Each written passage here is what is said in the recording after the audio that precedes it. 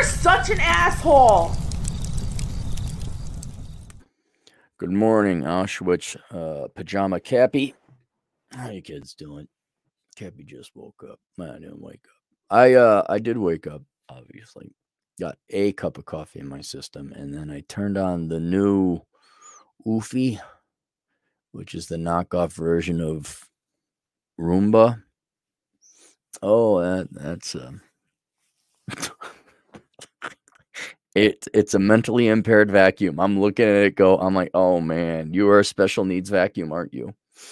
You have no idea what you're doing. Great programming job, guys. All right. Uh this is from Anonymous. Uh, I'm going into my senior year as applied math, mathematics, and statistics major uh, at the Colorado School of Mines. Good. Following my senior year, I could stay a fifth year and either get a master's in data science or in computer science. I believe a master's in data science will provide my with the right mind. Hey, you know, get a doctorate, but if you're not going to use the right words, I wonder if you're going to be successful in life. Will provide my with the right technical skills to complement my applied math and statistics background. I agree. However, many people have told me that master's in computer science is more versatile Ultimately, I would like to work as a machine learning engineer, data engineer, or something similar. I would like your opinion on which is the better choice. I would like a video response. I say, what degree will help get your job more effectively? In terms of niche, see, because here's the thing, guys. Uh, guys, how do I do this? Your problems are not do I do A or B? Your problems are that you don't do the freaking analysis. Okay. You don't put in the time in it. You don't take the time to sit down and do strategic planning. And you're the now the good thing about you, and, and this is one of the this is this is I'm gonna say it again. The great thing about going into STEM or accounting or picking a legitimate field is that once you are in the real world, like I'm going to go into a field that is going to pay.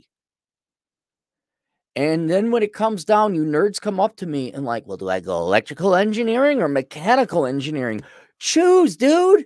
It's up to you. What do you find more interesting? Now you have the luxury of doing what you have more interest in. And then, but the problem I face, like, I. Would you like to become a financial consultant or a financial planner? All right. If I came up to you and asked you, well, should I become a financial consultant or a financial planner? You're not in the finance industry. Now you're encumbered with going and researching the job that the kid should have, I should have done. Well, what do you want to become? And then what are the correspond? Like, you're going to make six figures either way. I did a little bit of research. The computer science degree will get you there a little quicker. But do you are you all right being a single bachelor only making 95,000 a year? Doing what you really enjoy as opposed to making 101,000 a year? Doing something you don't exactly want to do? That's the whole point of of going into the real world and choosing a STEM skill, degree, major once you're in the ballpark, you could play whatever position you want. It's it's kind of like you made it to the major leagues, and now like you, it doesn't work this way. Just follow. Here's here's the analogy all you nerds keep giving me. Let's say you want to play Major League Baseball, but unlike how it's done in the real world, you know, you start off pitching in the fifth grade, or you're a really good first baseman, or something like that. All right obviously, but they don't care about that. Okay. They're just like, hey, you're a good baseball. You're good enough at baseball. We want you to come into the major leagues. Right. And then they say, you could play whatever position you want. Okay. You made it into the major leagues. And you're coming up to, and you're going to get paid roughly the same no matter if you play center field, the catcher, the pitcher, the third baseman, whatever. And now you're coming up to me. Do I play third base or do I play left field? Uh, whatever you want. Whichever one you want. You're in the major leagues. You're not a liberal arts major. You're not a social science major. You're not mentally impaired. You get to choose now. And whatever one is more in line with your career goals and objectives, that's what I would do. so I said, well, what gets you there quicker? In terms of niche data engineering roles, data science masters would be preferable because it's more specialized. There, there you go. However, given the likely incoming economic downturn, oh, here's another one you young kids love. Oh, I'm going to troubleshoot the economy. Oh, are you now? Oh, there's a there's a whatever. There is a nationwide or even global recession. Oh yeah, you you finitely you know splitting the hairs between computer science and data science like that's going to matter. And it's a just to point out this this recession is a little different because none of your peer group is majoring in doing what you're doing and no one's showing up for work.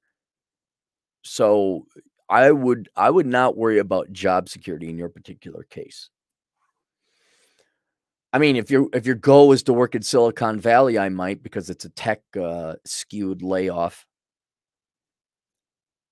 it may be worth having a broader set of computer skills with computer science masters. I just made the payment for the video response. no, uh, go get your data science degree, dude. That's what you want to do. It's a very legitimate field. Uh, if, if I, again, I don't know because I don't work in the industry. Computer science might be getting more laid off than I. You have a, a an okay undergrad. You you should have done eh, data science or status. Well, you did do statistics, and you did do applied stat. I don't know why you didn't do actuarial science. That's, that's just me. Um, you're not going to fail either way. They're both fine degrees. Go with the data science degree because that's what you want to do. Oh, that's right. That's I heard some upstairs. I'm like, is someone in my house? Do I have to go shoot someone? Oh no, it's the it's upstairs. It's it's the mentally impaired vacuum. It's my special vacuum. All right. Uh it's at the yeah, man. Uh I would do that. Now, if you would like to okay, okay, hey, uh, just one other thing. After your master's degree, you got enough education, okay, buddy? All right, you got enough. If you want to dabble into computer science, I would start taking or, uh, or becoming proficient at different languages or skills that would kind of straddle both the data science world and computer science. Uh, I don't know what that would be, but I'm sure a lot of model programming, so you got to learn some kind of languages. That go just get certifications from here on out. All right, you, you don't have to get a master's degree now. two master's degrees. Okay, yeah, it's a good deal. One year, get a master's degree. Okay, not eh, then it then it then it's worky time. Then it's go make it make a living. So I they're perfectly fine. Both of them are perfectly fine. But you seem to want to do the data science route, go do that. And then down the road, maybe not even necessarily too far down the road, but if it calls for it, go and start skilling up, getting certifications in the industry. All right. I'm going to have to go babysit my special needs vacuum. I'll see you guys later. Toodles.